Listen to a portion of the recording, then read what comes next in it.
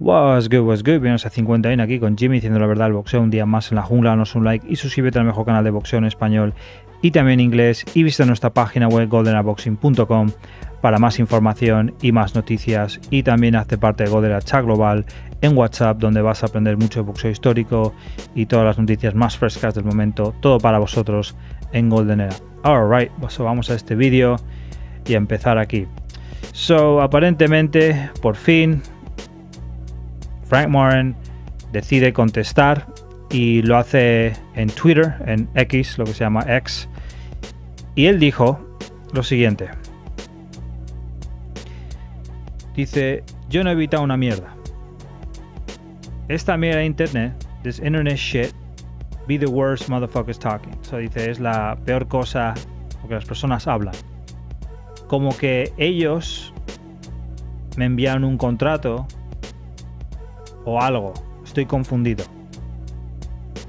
I'll lace up with any of you motherfuckers at 135. Está diciendo, yo estoy dispuesto a pelear, atarme los guantes con cualquiera de vosotros en 135, right?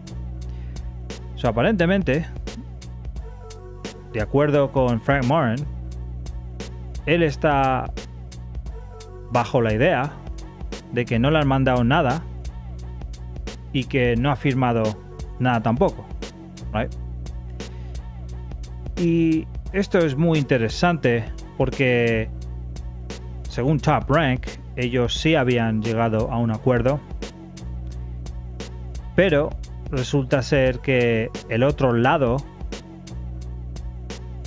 o sea, la promoción de Frank Moran, que es Man Down Promotions, que está con Errol Spence, ellos nunca dijeron que habían negociado nada.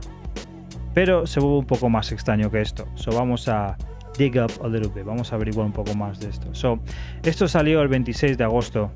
Dice, y eso fue Boxing Scene, dice, a vacant lightweight title fight between Shakur Stevenson and Frank Martin was has been ordered by the WBC boxing scene. Has learned the two sides have until September 5th to reach terms and avoid a purse bid hearing. So, tenían hasta septiembre el 5 para negociar esta pelea. Stevenson is co-promoted by Top Rank and Antonio Leonard Promotions and managed by Jay Prince and Josh Dubin. So, Stevenson tiene una copromotora. So, Top Rank es una de ellas, pero aparentemente también Antonio Leonard Promotions es otra promotora que está manejada por Jay Prince and Josh Dubin. Muy interesante esto porque cuando salió la historia que publiqué, aquí y estaba con The Boxing Boys, donde llamó Jay Prince, alguien asociado con Jay Prince, o creo que actually fue Jay Prince, y él dijo que habían investigado la propuesta de Devin Haney, que era un 25% a Shakur Stevenson, ¿ok?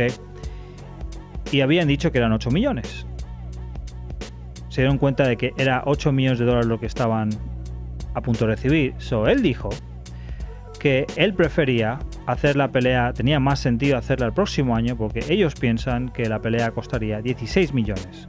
Right? So, él mismo, Jay Prince, admitió en The Boxing Boys que habían evitado a Devin Haney porque podían ganar más dinero si esperaban un año más en hacer la pelea para el 2024. Right? Podéis buscar vosotros en The Boxing Boys, está ahí. Pero eso es lo interesante. Dice, Martin is promoted by Errol Spence, Man Down Promotions, como os he dicho. Right? Errol Spence es el que es supuestamente el que está en control de esto. Y primariamente, eh, primary, no sé cómo se dice en español, eh, fights Anna Heyman's Premier Boxing Champion. So, está peleando bajo la tutela de Al Heyman's Premier Boxing Champions, PPC, Branded Shows.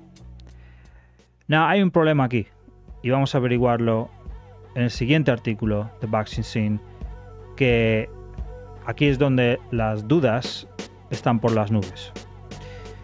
Boxing dice, oh shit, BoxingScene.com has learned that Bob Arum's Top Rank INC and Tom Brown's TBG Promotions came to a financial agreement on Shakur Stevenson's Frank Martin lightweight title fight at the 11th hour late Tuesday morning. Según este artículo, aquí está diciendo que Top Rank, o sabemos que Shakur Stevenson está con Top Rank. Y luego dice Tom Brown's TBG Promotions. Pero este Tom Brown's TBG Promotions, esto no es la promotora de Frank Martin. La promotora principal de Frank Martin es Man Down Promotions, es con Errol Spence. So, el que estuvo negociando esta pelea aparentemente era Tom Brown's TBG Promotions, que ellos fueron los que intentaron actually hacer una pelea entre Canelo Álvarez también y Germel, eh, Germán Charlo por 55 millones y 40 millones en su momento. Eh, fue por Tom Brown's TBG Promotions. Y ellos llegaron a un acuerdo económicamente para hacer una pelea entre Stevenson y Frank Martin para lo que sería el martes por la mañana. A WBC purse bid for the intriguing lightweight championship match scheduled for 1 p.m.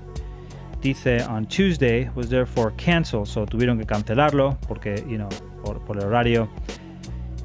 And we'll meet in a 135 channel by ESPN will televise as part of exclusive content partnership with Top Rank. Ok. So, el que estuvo negociando esta pelea es Tom Brown's TBG Promotions.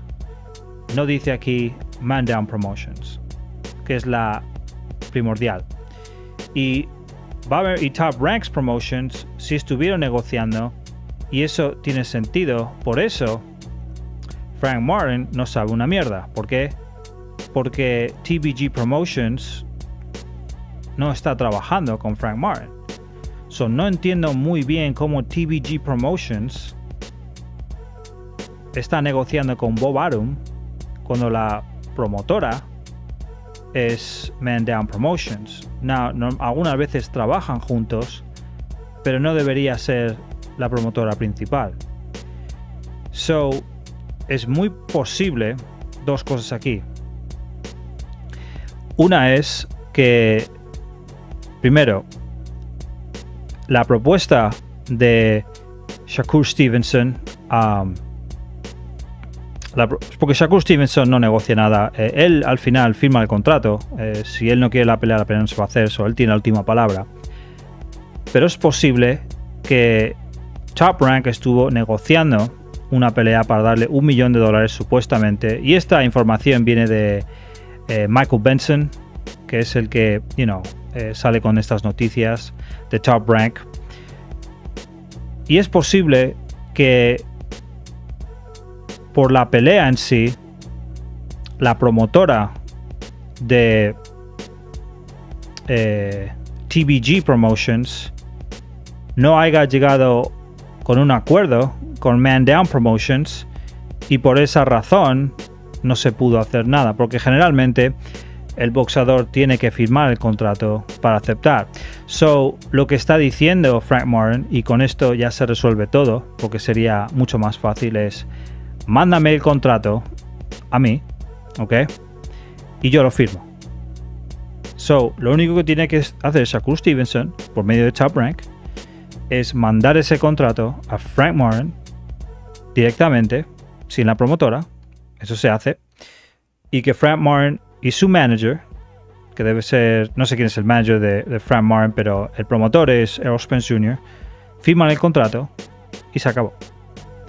De esa manera, se resuelve todo este problema. Pero por lo que yo estoy viendo aquí, eh, hay varias cosas que están pasando. O Top Rank no envió ningún contrato. ¿Ok? O hay una confusión entre TBG Promotions y Mandow Promotions eh, para hacer esta pelea. No sé, no entiendo cómo TBG Promotions ahí, no tiene ningún sentido. No es la promotora de Frank Martin.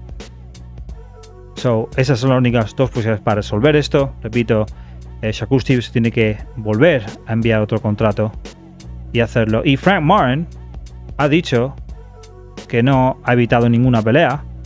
So, como no tiene un historial con ello, no puedo decir nada. So, vamos a ver qué pasa con esta situación. Eh, obviamente, eh, el equipo de Bob Arum sabe que Frank Martin será una pelea difícil para Shakur Stevenson no van a no van a ganar mucho dinero con esta pelea. Shakur Stevenson, por mucho que digan de él, no es un boxeador que genera mucho dinero, desgraciadamente. Es la verdad. En Estados Unidos, Shakur Stevenson es un buen boxeador, pero honestamente está generando casi igual que Terence Crawford en muchas de sus peleas, porque no gana mucho dinero. Tendría que haber aceptado por medio de Jay Prince la oferta que le había ofrecido eh, Haney y no habría ninguno de estos problemas. Pero no lo hizo y ahora pues eh, está complicado. Y otra cosa interesante con esto que quiero apuntar aquí también es que recordar que Vasilo Machenko está con Top Rank también, right? Y Shakur Stevenson dijo que quería una pelea con Vasilo Machenko. Y Bob Arum nunca mandó una oferta para Shakur Stevenson de parte de Vasilo Machenko, ni de Shakur Stevenson a Vasilo Machenko. Right? So, eso significa que Basil Lomachenko no quería la pelea. O Shakur Stevenson no quería la pelea. Pero en mi opinión creo que Shakur, eh, sí quería la pelea, pero Basil Lomachenko no. En el otro caso también que hay que explorar es que todo el mundo recordamos que el equipo, eh, bueno, en general, Shakur Stevenson estaba diciendo que habían enviado un contrato a Bill Haney, que es el manager de eh, Devin Haney, porque Devin Haney tiene su propia promotora.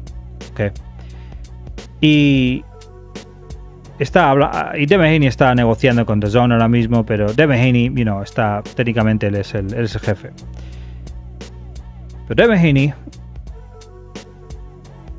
expuso a Shakur Stevenson porque salió Bill Haney comiendo en una cena con Bob Arum y cuando Bill Haney le preguntó a Bob Arum si le ha mandado algún contrato, Arum dijo, no, está en vídeo, podéis buscarlo. So Shakur Stevenson mintió sobre eso. No digo más. Eh, en esta situación yo no sé quién está mintiendo, eh, pero después de lo que dijo Shakur Stevenson con Devin Haney, me ha demostrado que sí puede mentir. So we'll see. Vamos a, vamos a ver qué pasa. Yo entiendo que le evita el Pipu Cruz. Yo entiendo que le evita eh, Basil Lomachenko. Pero estas, estas, eh, you me dejó eh, con un mal sabor de boca a Shakur Stevenson. La verdad. No, yo entiendo que hay personas que son fans de él y que a lo mejor es porque se creen que es puertorriqueño. No, es puertorriqueño, es de Estados Unidos, es de Newark, New Jersey. Ok. y pelea para Estados Unidos. Eh, pero hay personas que tienen amor por Shakur Stevenson y son emocionales y tienen que defender a Shakur Stevenson porque es lo único que tienen, un boxeador de Estados Unidos, right? Pero Shakur Stevenson eh, con lo de Devin mintió y no tengo más que decir de eso. So, vamos a ver qué pasa con esta situación Frank Moran y esperemos que esta pelea así se haga. Alright, pisa para todo el mundo su like, suscríbete al mejor canal de boxeo en español e inglés y la más real y os veo hasta la próxima. Deuces.